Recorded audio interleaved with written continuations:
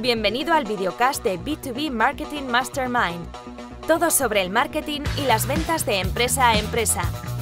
Automatización, social selling, formación comercial, técnicas de venta, planes estratégicos, canales, novedades y los mejores protagonistas del marketing business to business.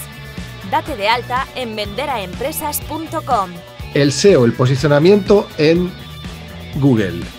¿Es bueno para B2B, para business to business?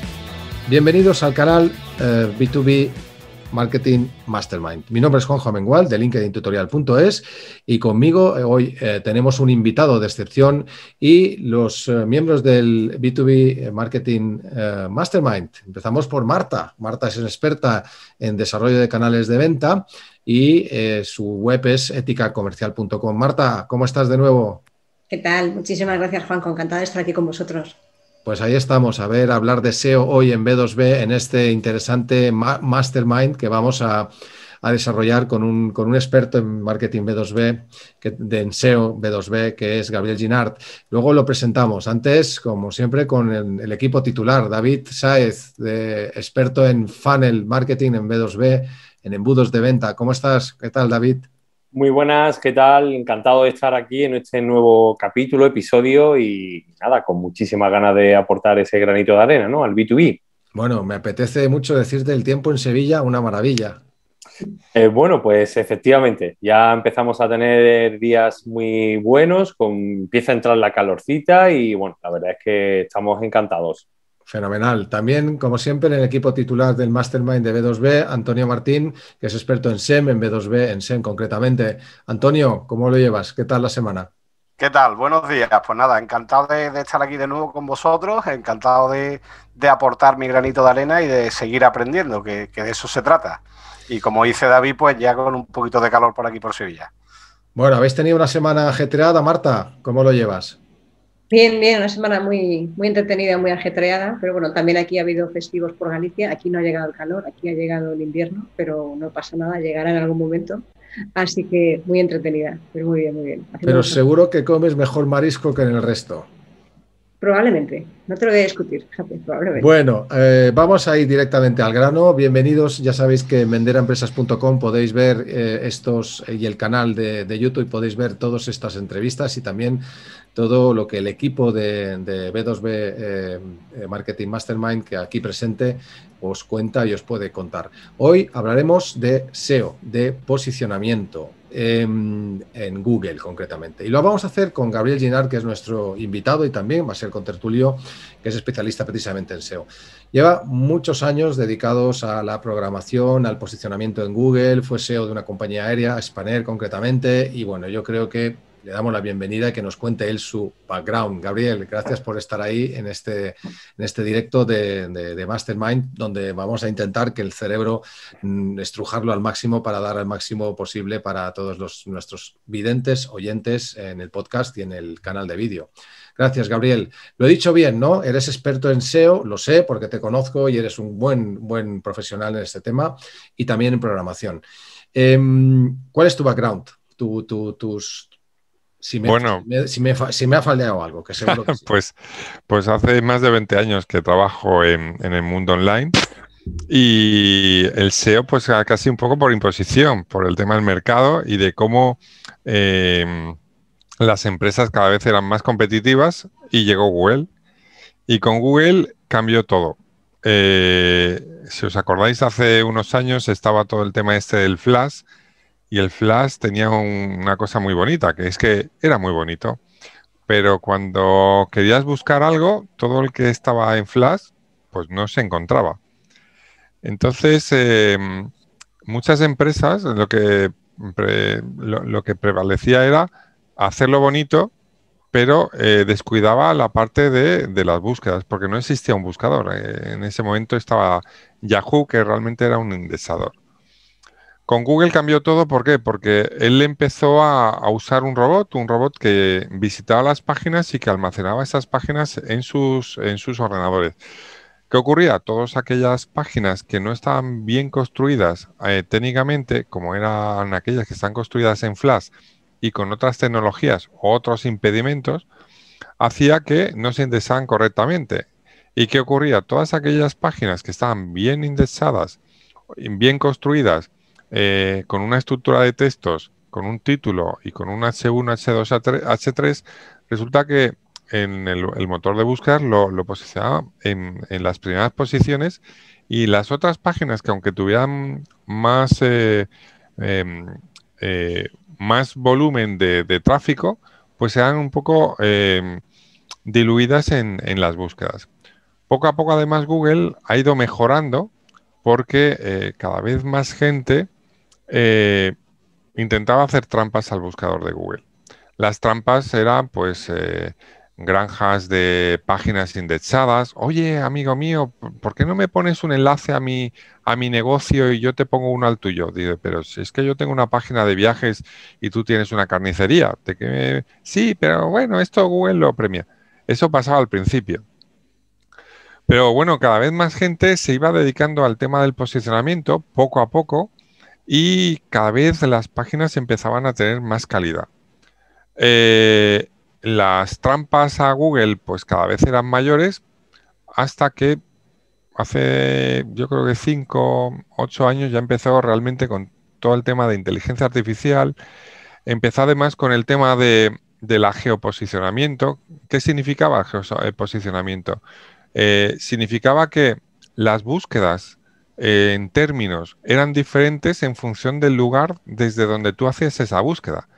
Y tenía su sentido tenía el sentido de que una persona que vive en Madrid no hace las mismas búsquedas que alguien que está en Barcelona o que está en Palma, Mallorca o que está en Nueva York.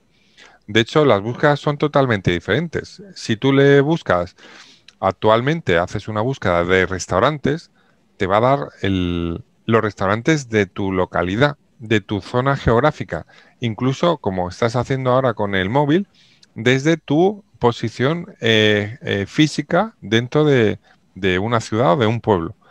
Eso es lo que ha cambiado con Google. Además de que eh, cada vez es más difícil hacer trampas. Aparte de eso, también Google dijo, oye, yo además de que tú pongas información de calidad, yo creo que lo hagas pensando en los usuarios. Y pensando en los usuarios, dijo, a ver, una página que tarda mucho en cargar no es buena para los usuarios. A nivel de usabilidad, eh, no es lo mismo si una página carga muy rápido, es una eh, página mm, tarda mucho en cargar. De hecho, ¿cuántas páginas conocéis vosotros que tardan más de 5 segundos, 10 segundos, 20 segundos en cargar? Entonces empezó a primar también la optimización de las páginas, en el sentido de que una página debía cargar eh, muy rápido, pero es que además tenía que cargar con el tamaño justo. ¿Cuántas páginas tienen imágenes? En cuanto ves la imagen, resulta que tiene 5 eh, megas de peso, cuando realmente a lo mejor con 10K era suficiente. Hablemos de los logos, de imágenes pequeñitas que hay por ahí, esas imágenes pequeñitas que al final resulta que es toda la imagen que no han optimizado ni comprimido ni nada por el estilo. Y, llegamos un poco al, día de hoy. El día de hoy, eh, ¿qué ha pasado? Que han empezado a evolucionar eh, diseñadores, programadores, eh, agencias de, de, SEO, de marketing, como expertos en, en, todo eso, cuando a lo mejor sus proyectos han sido proyectos pequeñitos, pues proyectos de mm, tiendas de barrio, eh, proyectos de a lo mejor empresas locales en donde con un SEO local les es suficiente. Pero cuando has trabajado en proyectos internacionales donde eh, la ubicación de los clientes es lo más importante, ahí es cuando se detecta realmente aquellos que son realmente profesionales, de, aquellos que viven un poco de lo que han ido aprendiendo leyendo o viendo a esos pseudo expertos en, temas de posicionamiento. Cuando tú tienes una empresa, pongamos una hotelera, allí, aquí en Mallorca, es el, típico ejemplo de una empresa en donde sus clientes vienen de diferentes partes del mundo. Y tienes una página que está solo alojado en un servidor español, resulta que cuando un americano quiere eh, conectarse a tu página web, resulta que le tarda cinco segundos más que alguien que está en España. Entonces han empezado a hacer técnicas relacionadas con eh, el caching, el, cacheo de las páginas locales eh, reportadas en servidores que hay en Estados Unidos. De tal manera que ese contenido, ya sean imágenes o HTML, eh, se sirve desde servidores que están lo más cercano posible al cliente que hace la petición. De tal manera que esa página web carga prácticamente a la misma velocidad que puede cargar desde España. Y eso ha favorecido un poco que, todas las páginas empiezan ahora a cargar a una velocidad bastante interesante. También todo eso hay que tener en cuenta la evolución tecnológica de los últimos años. Las conexiones que había hace 10 años no son las mismas que hay ahora mismo. De hecho, en móvil ya tienes mejores conexiones que hace 10 años desde el ordenador. Entonces, esa evolución también ha, mejorado la posibilidad de generar más contenido, más imágenes, pero sigue siendo predominante el tema de eh, los tiempos de carga, que siempre hay que tener en cuenta que los tiempos de carga son muy importantes. De tal manera que si tú tienes una página que es kilométrica, no hace falta que cargues todo a la vez, sino que tienes que cargar, oye, lo que tú ves en el móvil o en el ordenador, lo primero. Y a medida que vas bajando hacia abajo, vayan cargándose en tiempo, en tiempo real esas imágenes y esos textos.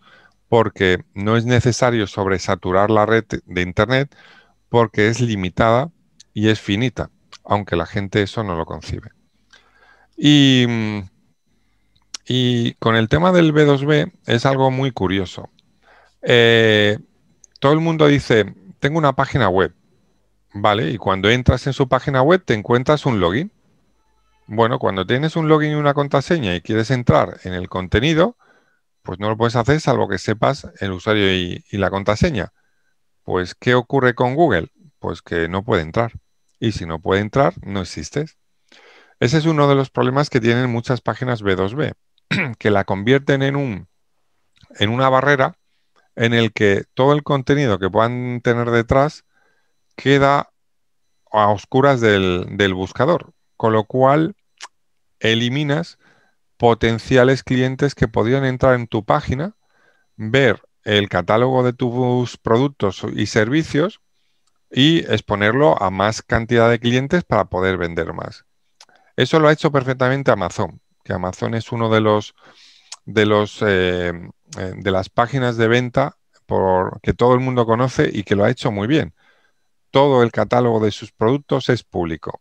Lo único que el último paso, que es el de la compra, ya depende de cada uno de los usuarios, de su usuario y contraseña. Pero todo lo que es el producto catálogo está expuesto.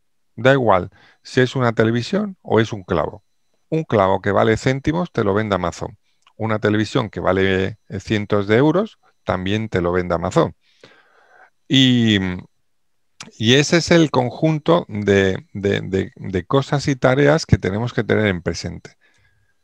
Y tenemos el último punto, que el último punto son eh, las redes sociales y cuántas páginas te están enlazando. A nivel de redes sociales tenemos que ver que toda red social tiene un enlace a tu página, siempre y cuando se escribas o alguien escriba acerca de tu página. Hay redes sociales que son mejores eh, conductoras de, de, SEO y hay otras que tienen peor conducción de SEO. Facebook, por ejemplo, no es de lo mejor que hay para poder enlazar, pero tiene otro, otro tema más relacionado con marketing que no con el tema de SEO. Tienes Twitter y luego tienes otras redes sociales. Siempre hay que estar en ellas simplemente porque una visita Google la considera como un valor hacia tu página, teniendo en cuenta que la mayoría de las páginas tienen Google Analytics o que vienen a través del buscador de Google, él sabe perfectamente cuánto tráfico te lleva a tu página. Cuanto más tráfico tenga tu página, más potencial le da al resultado relacionado con el término de, tu página. De tal manera que cuantas más visitas tengas, pues mucho mejor, independientemente de que te vengan por pago o por enlaces a través de redes sociales o enlaces directos o a través de, búsqueda natural a través del buscador. Cuantas más visitas, mejor. Por eso se dice mucho que cuando eh, tú contratas una campaña de AdWords o de, la que sea y te trae tráfico, los resultados naturales mejoran, simplemente por el hecho de que has mejorado el número de, de visualizaciones de esos resultados o de esas búsquedas relacionados con esa campaña que estás haciendo. Pero en el momento en que cancelas esa campaña, todas esas visitas pues dejan de venir, con lo cual el algoritmo detecta que ya no es de interés y vuelves a tener un posición pues peor eh, que tenías cuando tenías activa la campaña. Y... Qué listillo. Sí, sí, sí, eso es. Pero bueno, al final. una droga realmente, ¿eh? Sí, es una bola, es una bola. Eh, nos ha puesto, desde, realmente ha hecho una visión técnica de cómo funciona, como una visión rápida y técnica de cómo funciona el posicionamiento. Para una empresa que vende a B2B, hoy, que, ¿cómo puntuaríamos? Eh, es una pregunta que os hago a todos. ¿Cómo puntuaríamos eh, la necesidad de una empresa que vende a otras empresas o profesional que vende a otros profesionales, el, el trabajo que nos está comentando ahora mismo Gabriel Ginart, experto en SEO? Eh, dentro en referencia a otros canales. ¿Lo veis interesante? ¿Lo veis eh, necesario? ¿Lo veis importante? Está arriba el SEO eh, todavía en Google es un must, es importantísimo para las empresas que venden a otras empresas. Marta, ¿cómo lo ves? A ver, yo es que cada vez que quieres buscar información de alguien que te vas, ¿no? Vas a Google y buscas incluso con el propio nombre de la empresa. Y si ni siquiera apareces en las primeras dos páginas, tienes un problema ya serio. Buscando directamente por el nombre de la empresa. Yo no te digo que busques qué vende, sino que busques, pues, cómo se llama. Si no eres capaz de encontrarlo, al final la gente ya dirá, uy, esto es a saber quiénes son. Entonces sí que es muy importante, al menos desde mi punto de vista, de como reputación, como idea y como canal de ventas, que tengas por lo menos de alguna manera un cierto posicionamiento que salgas en la primera o en la segunda página. Lo ideal es la primera, pero como todos no cabemos, pero por lo menos sí que estés en las primeras posiciones, porque si no al final acabas cayendo, cayendo, cayendo, llega un momento en que la gente cuando te quiere buscar no sabe ni que existes. ¿Cuán, importante es, eh, Gabriel, eh, el contenido en todo esto que nos estás contando técnicamente? Pues el contenido es de las, yo creo que de los más importantes eh, puntos a tener en cuenta. Eh, la, tecnología, la técnica, la velocidad y tal es muy importante, pero si no tienes contenido, eh, no, todo lo demás es complicado que Google te, premie. De, hecho, se dice que el contenido es el rey desde hace mucho tiempo. Hay gente que compra artículos, hay gente que escribe. Eh, Google premia el contenido, pero también el contenido fresco y el contenido de calidad tener páginas y páginas de contenido, pero que no son relevantes, no son importantes, no son, eh, no tienen esa calidad. ¿Y cómo mide Google la calidad? Bueno, pues una de las una de las de los KPIs que utiliza Google es el tiempo de lectura de esa página. Cuanto más tiempo estés, mucho mejor. Páginas de abandono es otro KPI que utiliza Google. Eh, eh, ¿Cuántas veces llegas a una página y te abandonan sin clicar en otro sitio. Los enlaces que te llegan a ese, a ese artículo o a esa página, es eso todos los puntos que hay, el, el inbuilding, que es el crecimiento a nivel de, enlaces. No tienes que llevar los enlaces a tu página principal, sino a aquel artículo o aquella página relacionada con lo que estés hablando. Y el contenido, te digo, es lo más importante dentro de una web porque sin el contenido no, tiene sentido una web. Vale que puedes poner un PDF, pero mm, se queda... David, eh, em, como experto en embudos, eh, parte de, los embudos son contenidos. ¿Tú crees que, que, ante la importancia que resalta Gabriel del tema del SEO y lo que comentaba también Marta, ¿tú crees que las empresas de hoy están concienciadas de que un contenido frecuente y fresco es necesario? Yo creo que las empresas todavía le falta mucho tema de concienciación con respecto a lo que es el contenido. eh, van directamente o intentan ir muchísimas todavía a la venta, a la venta, a la venta, a la venta, a la venta, a la venta, o sea, entrar muy directo y, se olvidan de, educar al cliente con respecto al producto, su, su propuesta de valor. Eh, se olvidan de, eh, de, hablar de cómo ellos generan, o, o, sea, de, la transformación que tiene en ti su producto o servicio, eh, hablando de su valor diferencial. Y, todo eso lo vas a generar eh, única y exclusivamente a base de contenido. Eh, porque evidentemente, si solo es vender, vender, vender, eso no lo, no, no, lo, no lo consigues. Tú necesitas generar contenido, generar, generar contenido de calidad, generar contenido sobre todo actualizado, no hablar de tu producto y ves que esa entrada de blog está del año 2017. Es que el mercado ha evolucionado, es que los hábitos de consumo han cambiado. Entonces, ¿cómo adaptas tu propuesta de valor al día de hoy? Y creo ahí, en este caso, con respecto al SEO, él nos puede eh, eh, informar muchísimo más sobre todo esto, pero eh, si tu entrada de blog, de, mm, de, el contenido que tú quieras subir, la tienes desde hace cuatro o cinco años, tienes que refrescarlo, tienes que cambiarlo, tienes que adaptar tu mensaje al hábito de consumo actual sobre todo después de todo esto que hemos vivido durante este tiempo. Y, para mí, bueno, estoy totalmente de acuerdo, el contenido es el rey. Y si eh, una web, como bien dice Pilar, eh, cuando te buscan eh, por tu propio nombre, tú no apareces, mm, vamos, ni siquiera en la segunda página, tienes un problema súper grave, ¿no? Gabriel, ¿qué tendencias hay ahora mismo en posicionamiento para empresas en general o para empresas en B2B? pero bueno, en general. Bueno, eh, lo vais a entender con un, con un ejemplo muy fácil. Eh, tenemos dos tipos de web.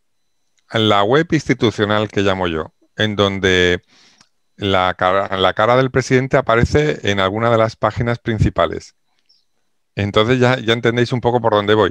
O sea, hay muchas páginas en donde le dan más, eh, más importancia a quiénes somos, contacta, quién es el presidente, quién es tal, que no lo que estás vendiendo. Entonces, eh, si entras en Amazon, oye, ¿quién es, dónde están los accionistas? Eh, es que te cuesta encontrarlo. No, ¿por qué? Porque lo que te están haciendo es vender producto. Entonces, el, tema de, la estructura, de cómo eh, creas esa estructura de enlaces dentro de tu web, es importante de cara a, la venta. También es verdad que hay muchos tipos de servicio o productos. Puedes tener productos tipo eh, una tienda de electrodomésticos o tienes, por ejemplo, una página de servicios, pongamos, de marketing. Al final son productos, pero tienes que saber venderlos y posicionamientos dentro de una estructura de enlaces que te permita trabajar cada una de las unidades de productos diferentes o servicios. O sea, eh, ¿cuántas veces me he encontrado con que, oye, ¿qué, servicios das como una empresa de marketing o una, una, empresa o un despacho de abogados en donde en una sola página venden todos los servicios?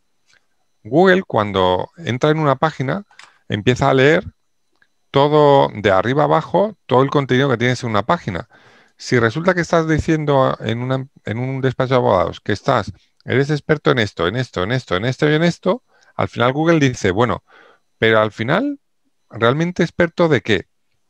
En cambio, ahí hay eh, las, webs a donde tienden es cada servicio es una página. Igual que Amazon tiene, cada producto tiene una página. De hecho, Amazon tiene incluso eh, un clavo verde, un clavo azul y un clavo rosa, tienen su propia página, aunque sean un solo clavo. Pero diferencian eh, incluso modelos muy similares. ¿Por qué? Porque son productos eh, diferentes. Entonces, debes poder eh, tener una página por cada producto o servicio para poder competir con todas las otras páginas de la competencia para ese mismo servicio o producto. Porque si solo hablas en una sola página de todos los servicios, aquella que solo habla del servicio específico que estás buscando es la que te va a poner en primer lugar y, tu página no va a ser competitiva nunca si no tienes definido todos los servicios que tú vas a tener. Aunque ese servicio solo lo vayas a vender una vez al año. Pero tienes que tener esa propia página para ese mm, servicio propio. Aunque lo vendas una vez. Oye, es mejor vender algo que no vender nada. Y mm. así te especializas y por eso puedes ser tan competitivo como Amazon o como cualquier otra página, porque Google eh, eh, compara tu página servicio con cualquier otro de la competencia. Entonces tú tienes que ser mejor que la competencia y para eso tienes que tener una página individualizada para tu producto o servicio. Eh, una de las cosas que has dicho antes, y ahí va la pregunta para Antonio. A ver, chicos, preguntar a Gabriel lo que, o comentar lo que, lo que queráis, pero antes ha dicho Gabriel que si dejas de hacer una campaña en ads, eh, de repente subes y bajas como un tobogán, ¿no? Antonio, ¿tú eso lo has, lo has notado? O sea, que Google nos ata a hacer SEM, nos ata a hacer publicidad constantemente para evitar que el SEO baje. Es así, Gabriel, es así, Antonio, ¿verdad? Sí, pero no hace falta que sean campañas en Google, ¿eh? pueden ser campañas en Facebook o en ah, Twitter o en cualquier otra red social. A ver, lo que Google dice es, si tú tienes un incremento de visitas, es que tu web se está popularizando, independientemente de dónde lleguen las visitas. Luego otro tema es el tema de las visitas de calidad.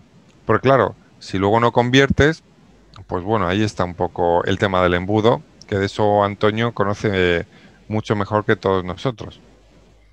Sí, sin lugar a dudas. Esto, a ver, yo soy muy partidario de, sobre todo en estrategia para empresas B2B, de hacer, eh, de hacer estrategias conjuntas, ¿no? De, SEM y SEO. Nosotros, bueno, no somos especialistas en SEO, algo, algo conocemos, evidentemente no al nivel de, Gabriel, pero, pero es fundamental sobre todo por tener, eh, cubrir todo el horizonte temporal. Nosotros con SEM vamos a atacar más el corto plazo, eh, eh, buscando la estacionalidad del producto o servicio, de, momentos álgidos de consumo, etcétera, etcétera, pero sobre todo, eh, digamos, la, estrategia del ejército, del grueso del ejército que viene detrás, que es una estrategia más recurrente, eso hay que atacarlo mediante SEO, ¿no?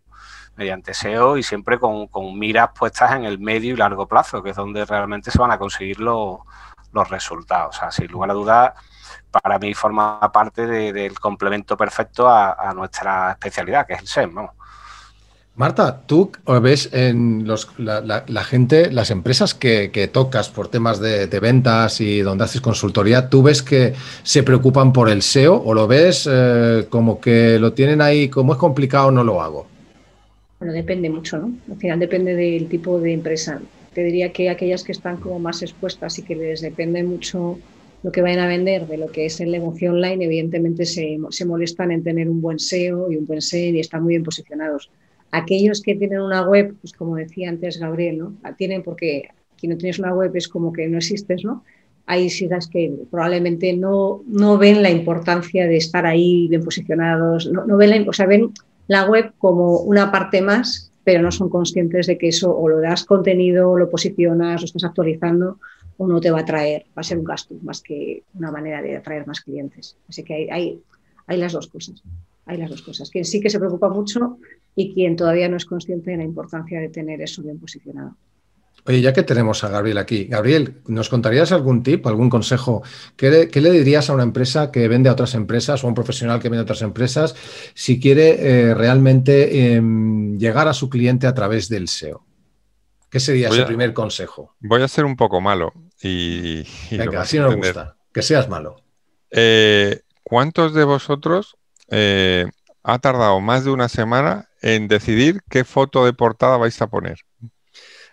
Eres muy malo. Casi Más todos. Semana, dices. Bueno, pues. Es que, es, que incluso cuando la tienes puesta, después de haber decidido durante un X tiempo, sigue mm, planteándote. ¿Es, la correcta? ¿No es la correcta? Bueno, pues ese, ese es el key de la cuestión. Muchas veces. Eh, ¿Os acordáis de Gmail? Bueno, nosotros tenemos cierta edad y nos acordamos. ¿Cuántos años estuvo beta Gmail? Más de dos. No recuerdo, pero más de dos, de dos a cinco años, beta. ¿Qué significa? Una, una web tiene que ser beta siempre, o sea, tiene que ser, tiene que estar en constante movimiento. Lo que no puede ser es que el propio dueño propietario de un negocio esté enquilosado en, en eh, supervisar cada uno de los contenidos que hay. O sea, eso deja de ser fresco, y ágil. Entonces, lo, el tema del logo es un poco broma, pero viene a ser un poco el primer problema que tienen muchas de las web que hay actualmente, que es que eh, no es ágil y no es fresco.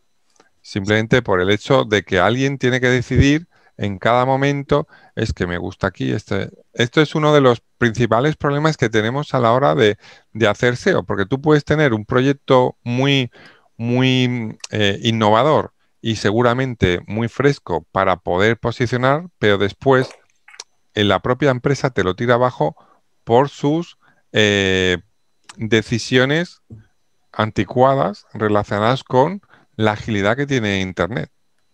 Bueno, yo creo que ahí un poco estoy totalmente de acuerdo contigo. Eh, nos encontramos muchas empresas que son muy grandes, que ahí la toma de decisiones depende de varias personas eh, existen evidentemente distintos tipos de, opiniones, distintos puntos de vista, y entre que ellos se ponen de acuerdo, que piensan si mejor en blanco, mejor en negro, mejor en naranja, mejor hablamos de esto, mejor hablamos de lo otro, eh, evidentemente. Dos años después. Eh, efectivamente, te pegas muchísimo tiempo para subir algo que debería haberse subido en una semana dos veces.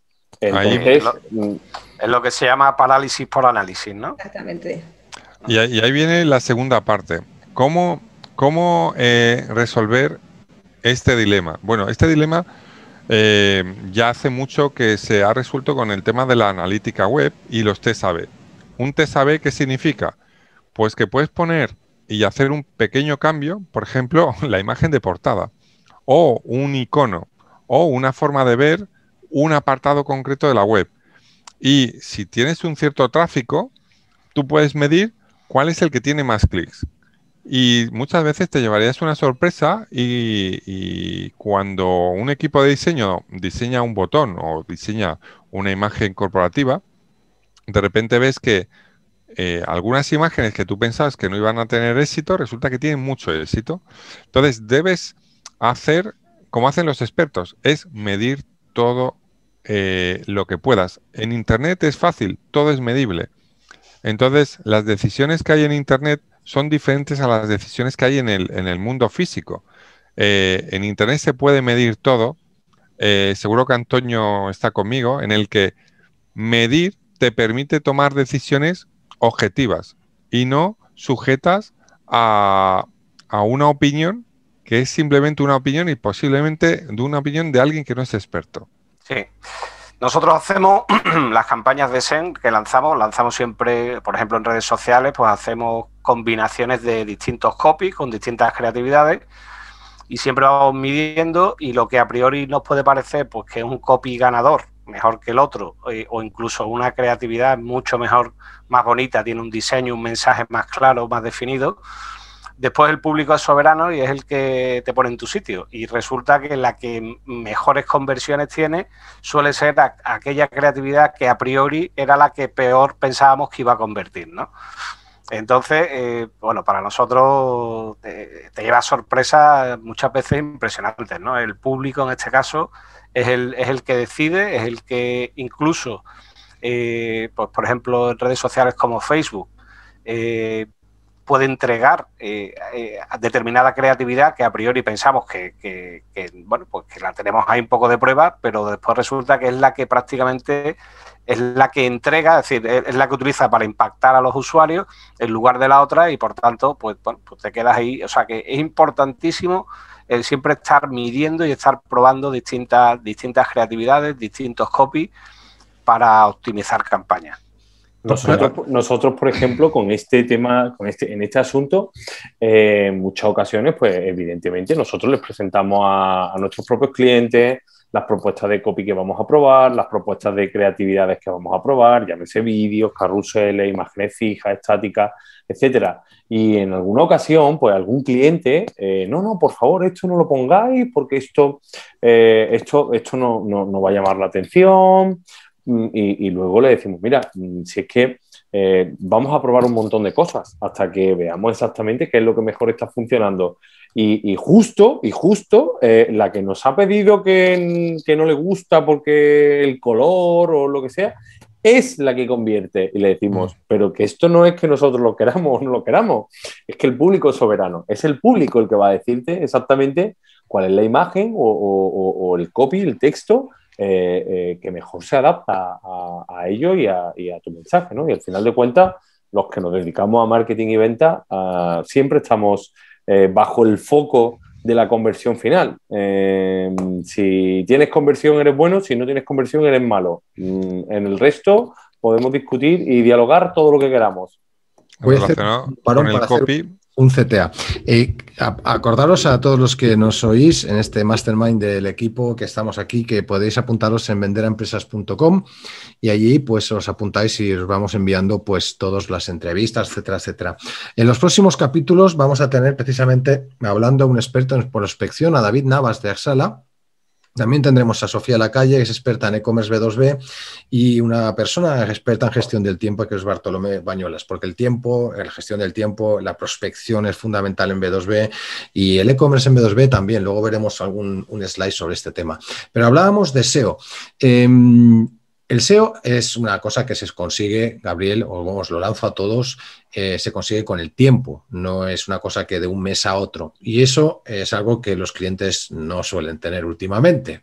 Se esperan que tenemos la varita mágica y que con 15 días, ¡pum!, los colocamos en un tráfico inescrutable o que, o que Marta les, les, les explica cómo vender y en dos días están vendiendo o que o que hacemos un embudo y a dos, dos días están forrados, lo siguiente con dos Bentley descapotables fuera. El SEO es macerar, madurar, etcétera, etcétera. Em, pero también es verdad que la búsqueda, si alguien busca algo, entendemos todos que es un lead, que es, un prospecto que está caliente, que si lo buscas por algo, no, es, no le estamos invadiendo.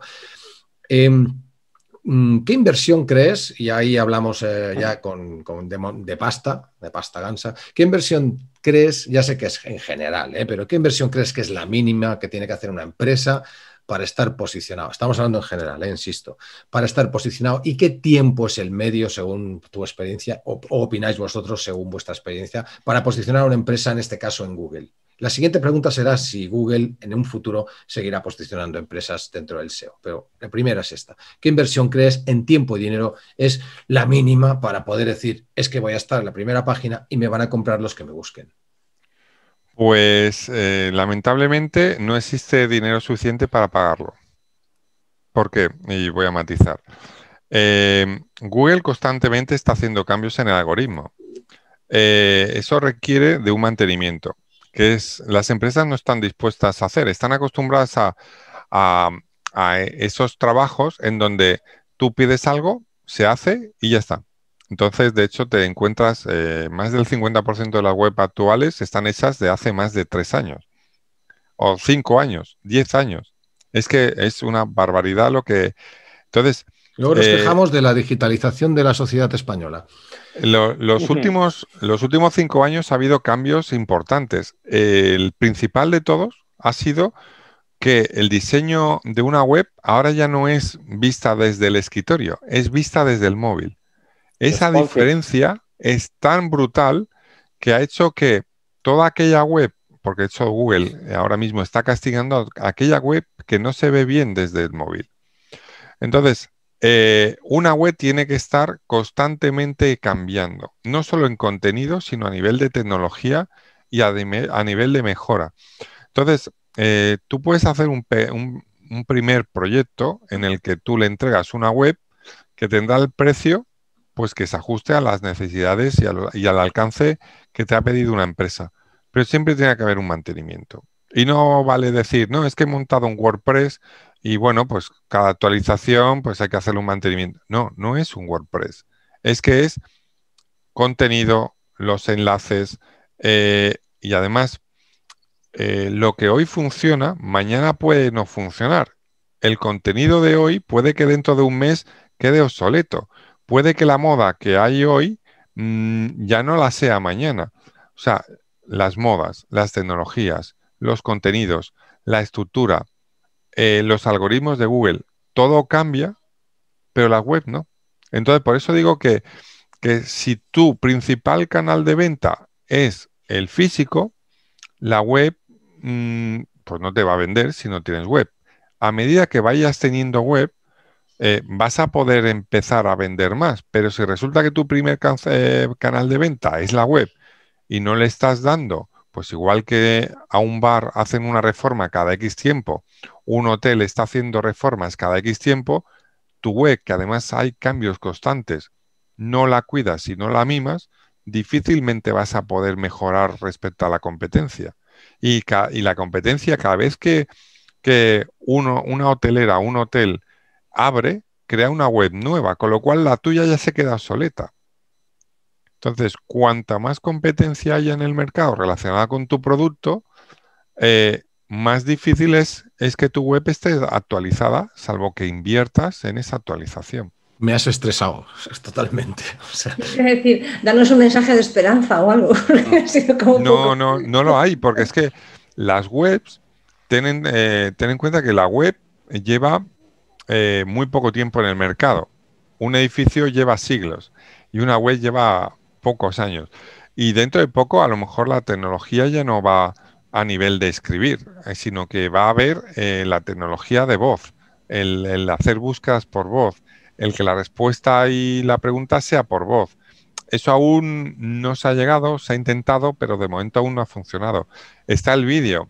Cuando el vídeo sea interactivo, las web quizás sean un poco más difíciles de, utilizar. Ahora cada vez hay más inteligencia artificial que crean robots de preguntas y respuestas. Eh, llegará un momento en que quizá la web, como conocemos ahora, ya no sea un canal solo de, lectura, sino de una conversación de, oye, mira, estoy buscando unos zapatos, ¿qué me recomiendas? Y ahí sea una conversación y que el robot, en vez de ser un texto, sea una cara, que sea seguramente un avatar, en el que él mismo te diga, oye, ¿qué, prefieres? ¿Que el vendedor sea chico o chica? Y el, avatar mismo te conteste. Pero de momento no hemos llegado. Hombre, yo estuve leyendo hace poco y, hemos estado investigando sobre esto, que el volumen de búsqueda de voz eh, a colación de la pandemia eh, han aumentado, si no recuerdo mal el dato, eh, un 70%. ¿eh? Claro, pero un 70% en, búsqueda de voz. ¿eh? Es muy bajo aún el porcentaje de voz, pero va a ser más alto cada vez más porque, porque tenemos el, móvil. Y el móvil te permite, tiene un micro y tiene un altavoz. El ordenador también, pero lo tienes que incorporar. El móvil ya lo tiene. Claro, y de hecho, mm, por, bueno, eh, por norma general, eh, sobre todo cualquier persona que tenga un iPhone lo va a ver súper claro. a final de semana te dice esta semana has utilizado tu iPhone por 4 horas 37 minutos, has aumentado un 18%. Por ponerte un ejemplo, eh, que, estamos hablando de todos los días, ¿eh? Todos los días, la media de utilización del móvil, entre todas las funciones que tiene, eh, una media de, 3 a 5 horas diarias, ¿eh? que, es mucho tiempo, ¿eh? que supuestamente le deberíamos destinar 8 al sueño quien, quien lo haga, ¿no? Y aquí estamos hablando de, eh, de, 3 a 5 horas con el móvil en la mano. O sea, eh, busca, haciendo búsquedas en tus redes sociales y, lo que está comentando Gabriel, ¿no? El tema de la búsqueda de voz, yo creo que cada vez mm, va a ir a más, a más, a más y a más. Y sobre todo también en la experiencia del usuario, ¿no? El que pueda ser contestada esa búsqueda de voz desde una, desde una web. Todavía no estamos ahí, pero evidentemente esto llegará.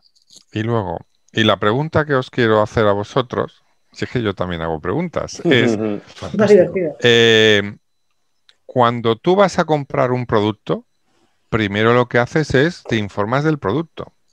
Entonces, en viajes es muy fácil. Primero decides a dónde quieres ir. Después, una vez has decidido, decides a dónde vas a ir y luego cuándo vas a ir. Esto más o menos son las preguntas que se hacen. Las webs aún no contestan esas preguntas, muchas de ellas. Entonces hay el antes, durante y después. Y el antes, durante y después, el antes es antes de la compra, durante la compra y después de la compra. Eso, pocas webs eh, te facilitan esas preguntas. Yo estoy resumiendo mucho, pero ya... Falta contenido. Ya, ya estáis viendo un poco por dónde voy. Eh, el antes es un tema más bien de, del cuidado del cliente. El antes es antes de que él te compre. durante, mientras te está comprando y después que le ofreces después de esa compra. Y ese 360 no es solamente SEO, aunque hoy hablamos de SEO. Una de las cosas que a mí me llama mucho la atención cuando hacemos estudios de mercado, supongo que Marta, cuando tú detectas, cuando vas a un cliente y dices, oye, tienes que cubrir una necesidad, que siempre insistes en tu podcast, El arte de vender, hay que cubrir necesidades, estamos cubriendo necesidades, no endosando nada. Pero fíjate que el SEO nos permite saber las necesidades del mercado.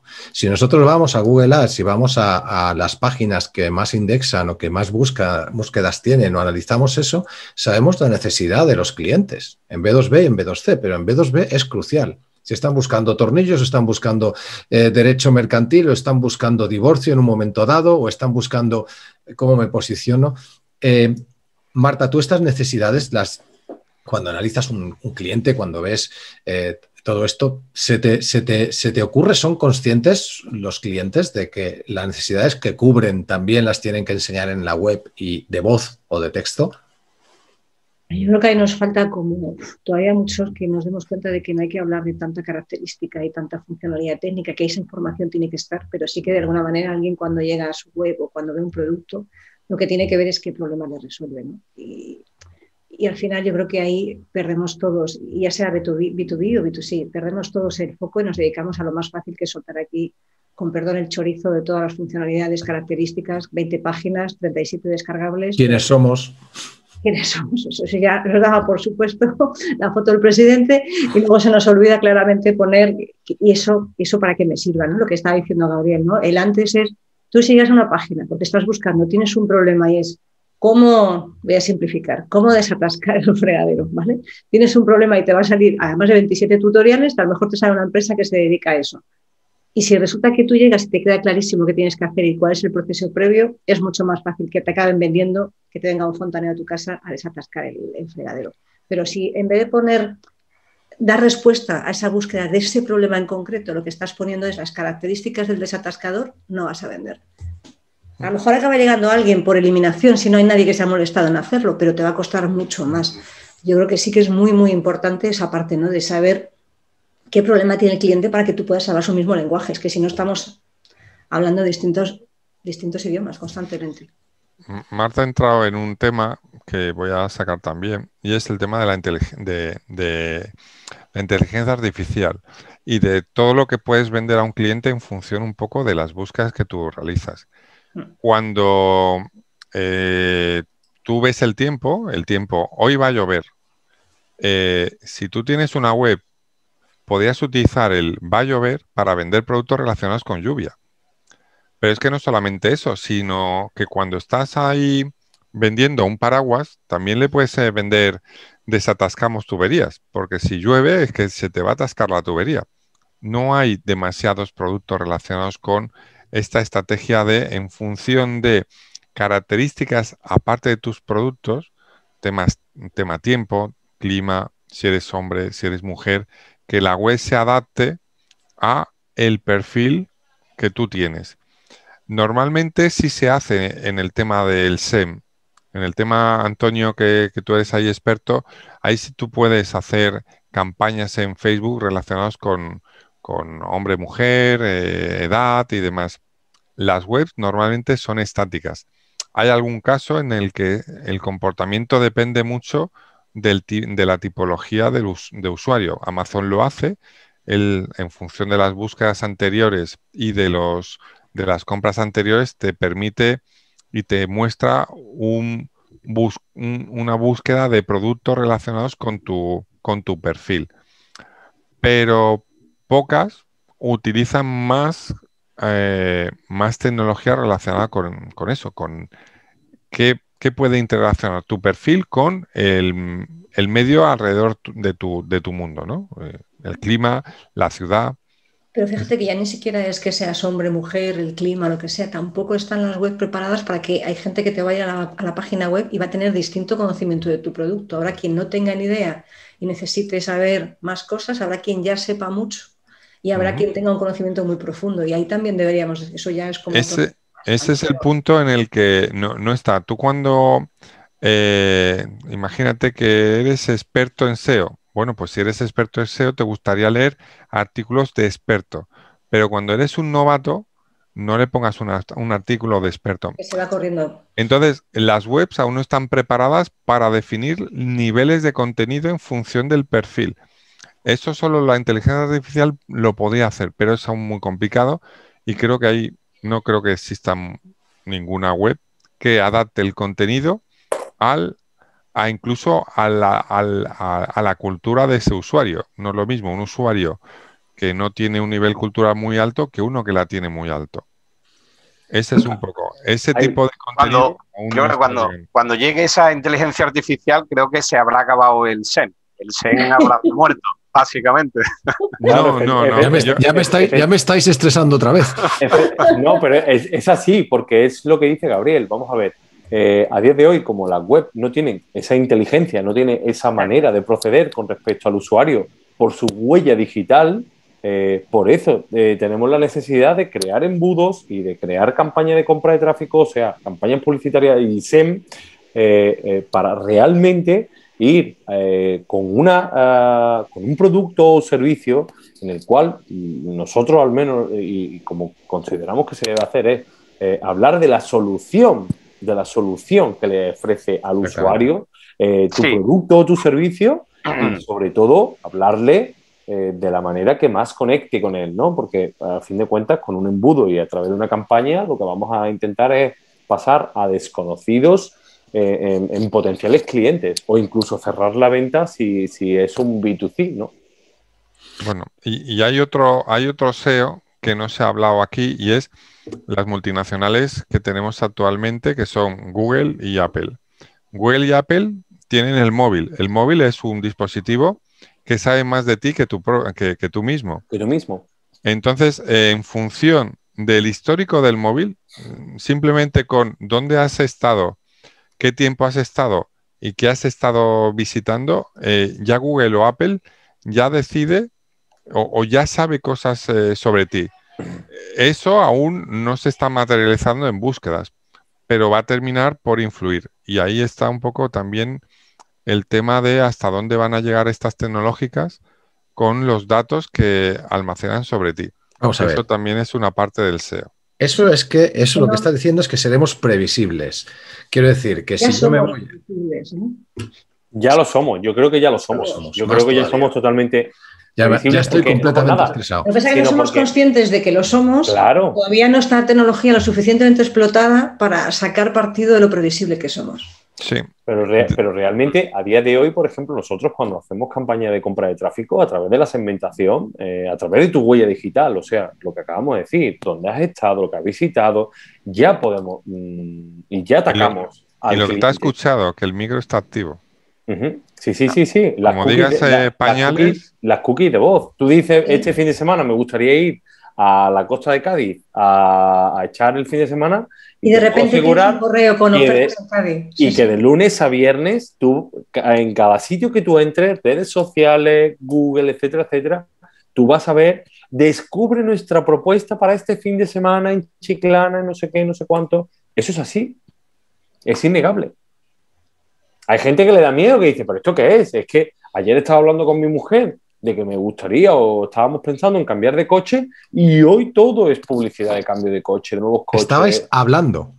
Hablando, hablando, hablando, No, buscando, ¿eh? Hablando. Ya, ya. Pero bueno, existen también herramientas, por eso el tema del SEO y el SEM está en peligro de muerte, que no es que vaya a morir, pero tiene un, problema, es eh, los plugins relacionados con, con la publicidad, los adblocks, eh, que permiten bloquear la publicidad.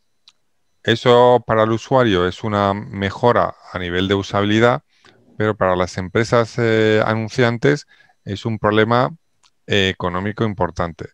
Por eso digo que el SEO siempre va a estar ahí porque mientras haya el ratón y el gato en el que uno pone publicidad que quiere que se vea y el otro no quiere recibirla, pues el SEO siempre está ahí. Es el contenido que una marca está poniendo sobre la mesa para que atraiga ese, ese público objetivo. en, vuestra opinión, ahora mismo, las empresas que, o profesionales cuyos clientes son otras empresas, business to business, B2B, ¿qué tal andan de SEO? ¿Qué, dentro de sus canales o de su follón de marketing y ventas, ¿dónde, dónde y os lanzo la pregunta a todos, inclusive a, nuestro experto, a Gabriel, eh, ¿dónde, eh, ¿en dónde, en qué puesto del 1 al 10 ponen el SEO? ¿En el 1, en el 10? ¿No sabe, no contesta? ¿Qué es el SEO? ¿O está en primer lugar? En B2B. Pregúntale al presidente qué es SEO. Ah, de cualquier compañía. No lo sabe. Y ya, y ya te he respondido. Pues, pues tampoco sabe lo que es la venta real, tampoco sabe lo que es SEM, tampoco sabe lo que es LinkedIn, se cree que es para buscar trabajo, tampoco sabe lo que es un, embudo, un funnel. Hay mucha falta de, conocimiento por parte de, presidencia y vicepresidencia para arriba. Luego hablaremos el 95% de... las empresas no tienen claro qué es y contratan una empresa para que se lo haga.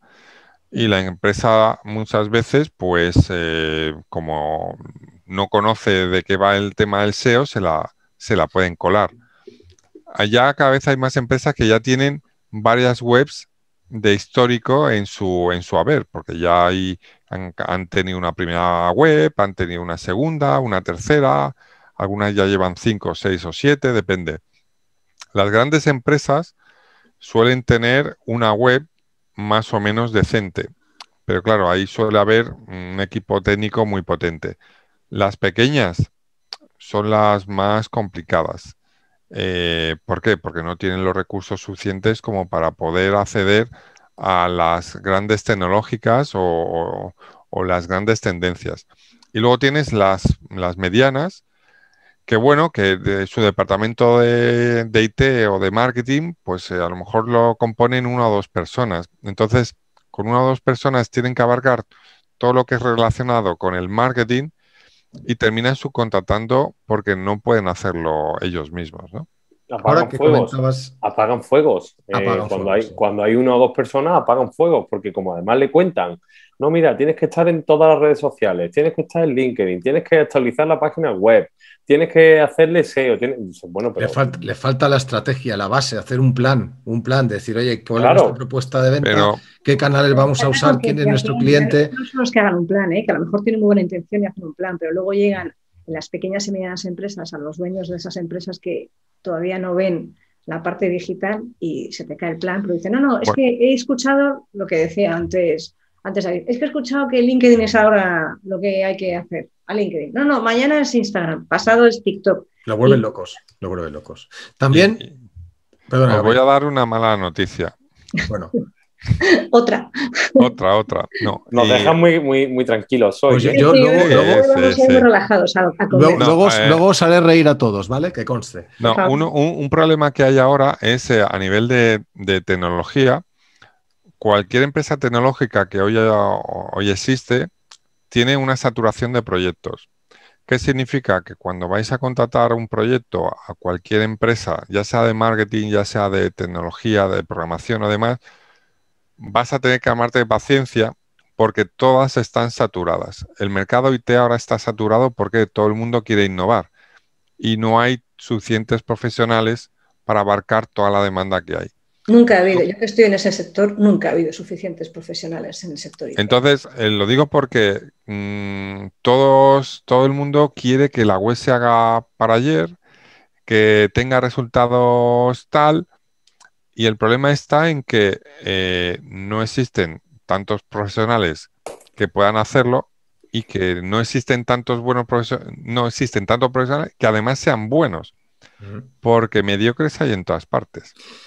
Entonces, a eso me refiero que eh, encontrar una empresa que te lo haga correctamente, en un tiempo y forma correcto es muy difícil. Pero es que las exigencias de los empresarios a la hora de hacer las peticiones, muchas veces es que dicen, no, quiero un cohete a la, luna. Y a veces no saben exactamente lo que quieren. y el profesional les intenta eh, pues aconsejar de, de una manera más o menos profesional, pero muchas veces no se dejan aconsejar. También, también hay un gap de lenguaje y ahí es donde quería compartir un poco lo que vais a ver en pantalla, aunque voy a, no sé si lo veis en estos momentos, ves el logo de B2B Marketing.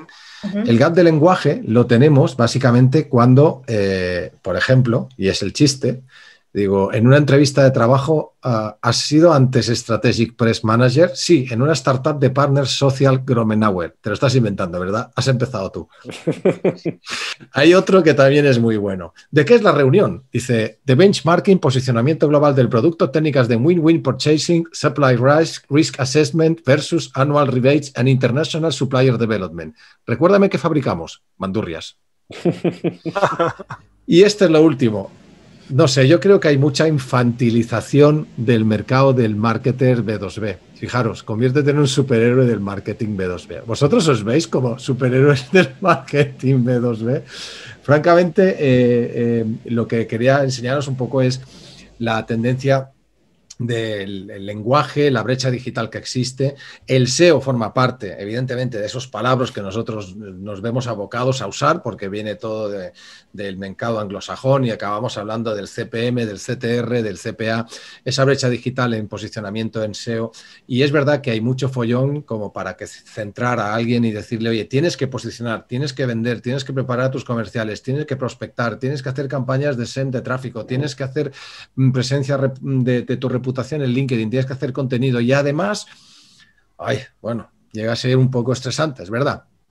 Pero hablando de posicionamiento, eh, vamos a ir cerrando este capítulo de, posicionamiento. Vamos a hablar de posicionamiento local. Tengo, tenemos una entrevista, eh, el equipo hemos hecho una entrevista aquí a, Benjamin de la Cruz, que es un, especialista en SEO local, en Google Maps, rankea, posiciona. Eh, voy a dejar el link luego arriba a los que veáis esto en YouTube y por supuesto en venderempresas.com, los que os suscribáis podéis ver esa entrevista. Benjamín de la Cruz está en Los Ángeles y es un experto en, posición, en posicionamiento local. En Google Maps, vamos, ¿no? ¿Verdad, Gabriel? Sería eso. Pues es un crack, porque ¿sabéis lo que hace?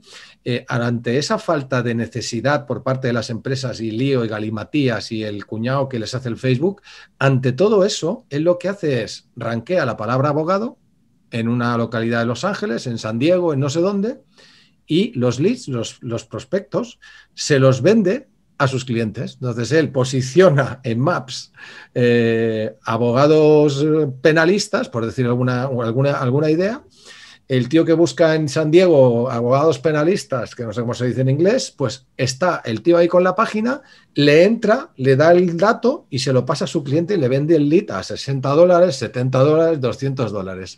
Por eso lo llama rank and rent, ¿no? Lo rankea en Google Maps el posicionamiento y lo... Entonces, así evita el bufete de abogados, evita trabajar el marketing, tiene marketers que les dan el prospecto calentito para que punto, vuelta y vuelta y ya sacar el dinero, si es posible, a largo plazo, por supuestísimo, de todo este follón.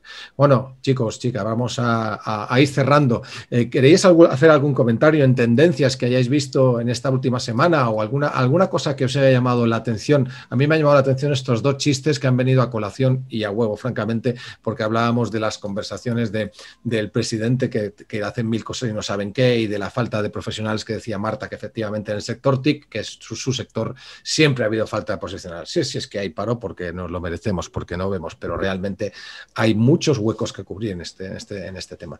Para ir cerrando, sí, ¿qué, comentarios haríais sobre tendencias y en tema de SEO? Eh, por empezar por, por, Marta, por ejemplo. Bueno, pues yo no he tenido mucho tiempo de esta semana de averiguar tendencias en el mundo del SEO, pero sí que me quedo con, eh, con comentarios que ha, hecho, que ha hecho Gabriel, ¿no? Así que yo creo que lo que tenemos que ser conscientes es de que al final no va a haber una sola técnica que nos valga y nos valga para toda la vida, ¿no? que tenemos que mezclar varias y estar continuamente aprendiendo, avanzando y ajustarnos a la realidad. Yo me quedaría con eso, que no es una tendencia, que es lo que nos tengo que hacer siempre. O sea, que esto tampoco es una novedad, pero deberíamos tenerlo siempre en cuenta. Y siempre con ética comercial, ¿verdad, Marta? Pero con ética comercial y con ética en los negocios y con ética en la vida. Yo creo que al final es que no te queda más remedio. Es la única manera de tener algo en el largo plazo. Oye, según tu último baremo de esta última semanita, desde el último capítulo, ¿Has visto más ética en las empresas en tus clientes o menos? Bueno, yo, creo que afortunadamente la gente también es más consciente de que cuanto menos engañes, menos manipules o menos fuerces, mejor te va a ir. Entonces, esto es una carrera de, largo plazo, pero bueno, mientras la gente sea consciente de que ese es el camino adecuado, llegaremos, llegaremos a la meta mucho mejor todos. Que somos humanos, no superhéroes. Yo de superhéroe tengo lo justo, efectivamente. ¿Verdad? Eh, Antonio, eh, ¿cuál es esa tendencia o esa última, algo que te ha llamado la atención en tu última semana en B2B o en clientes y qué, es tu opinión sobre lo que ha comentado Gabriel en el tema de SEO? Sí, yo más que una tendencia eh, te hablaría de, los desafíos a los que nos tenemos que enfrentar los que nos dedicamos a esto del marketing B2B, ¿no?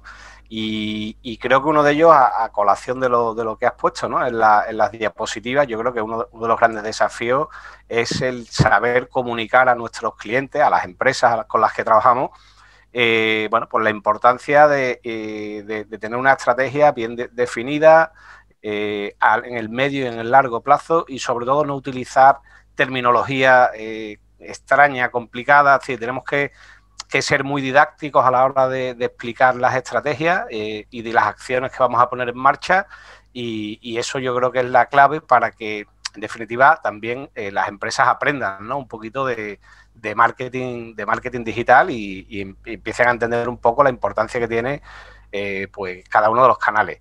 Con respecto a lo que ha comentado Gabriel, pues creo que bueno, pues la labor que hace en cuanto a SEO es fundamental y sobre todo en marketing B2B es, muy importante y es un complemento, como, como dije antes, para, la estrategia SEM, ¿no? Eh, es fundamental. David, te salvas de toda esta inteligencia artificial que al final tendremos, eh, necesitaremos un humano, sí o sí, para eh, meter en el embudo y convencer a la gente, persuadirla y, determinar necesidades hasta que no venga la inteligencia artificial del todo. ¿Cómo has visto el tema del posicionamiento, David Saez? Bueno, yo creo que realmente lo que estamos hablando, eh, a día de hoy eh, es la persona, eh, va a acabar todo una persona, todo el embudo, todo lo que queramos hacer a día de hoy, hasta que esa inteligencia artificial que hemos estado comentando hoy no lo haga por nosotros, acaba en la persona, con lo cual no debemos de, de olvidarnos nunca de que no solo tenemos que estar muy, muy, muy, muy, muy al día en todo lo que es tecnología, SEO, etcétera, etcétera, sino también eh, en tener muy bien formado a nuestro equipo de ventas o la persona responsable de ventas. Y luego, con respecto a lo que ha comentado nuestro experto en SEO, es, mm, vamos, el de visto una lección magistral. Eh, esto no para nunca, eh, no va a dejar de avanzar nunca y lo que hoy funciona, mañana ya no. Y, y eso, lo queramos ver o no lo queramos ver, es así. Y, creo que bueno, en este último año eh, la vida nos ha dado un golpe de realidad extraordinariamente en la cara bien grande para demostrarlo de que esto es así, de que aquí lo que hoy vale, mañana no vale. Y adaptabilidad, adaptabilidad y adaptabilidad. Exactamente, buena, buena apreciación. Bueno, pues eh, deciros que yo he resumido el contenido de Gabriel en SEO, contenido fresco y frecuente. El tráfico es muy importante y siempre estar en modo beta, o sea que hay que lanzar las cosas. Vale más un kilo de acción que una tonelada de teoría, lo sostengo. Y quería, en nombre de todo el equipo y dar la bienvenida, mm, bueno, a Gabriel Ginart, experto en SEO, lo podéis localizar si queréis en venderempresas.com, ahí están todos sus datos. Y Gabriel, te, como invitado y bueno, y recién llegado tertuliano, pues nos, casi casi que te doy el cierre del programa. Solo deciros que en venderempresas.com, venderempresas.com os podéis dar de alta, suscribiros y estar en el podcast, el canal, en YouTube y yo qué sé, me estoy me he estresado ya y ya no sé dónde estamos exactamente. bueno, Gabriel, gracias por todo. Unas palabras. a vosotros. Eh, bueno, que tened en cuenta que ahora el tema de la robotización es, es, una palabra que se va a oír cada vez más en temas de SEO, en temas de SEN y en otros, en otros mercados. Eh, pero claro, la robotización sola no sirve de nada. Entonces necesita que expertos domen ese robot. Bien, pues ahí estaremos aquí, marketers dedicados al B2B, como son Marta de Francisco de Ética Comercial, Gabriel Ginart, eh, SEO, Gabriel Ginart. Eh, Antonio Martín, experto en SEM, en Funnel 360, David Saez, experto en embudos de venta de Funnel 360 y quien nos habla, Juan Jamengual de LinkedIntutorial.es. En el próximo episodio hablaremos de cómo prospectar con un experto en prospección, David Navas. Hasta el próximo episodio, amigos, en venderempresas.com nos vemos. Hasta ahora. Adiós. Muchas gracias. Hasta luego. Hasta luego.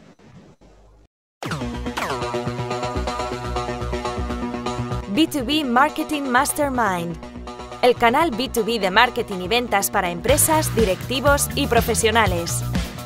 Apúntate a las novedades de nuestro boletín profesional en venderaempresas.com. Marketing de profesionales con experiencia. Suscríbete en este canal.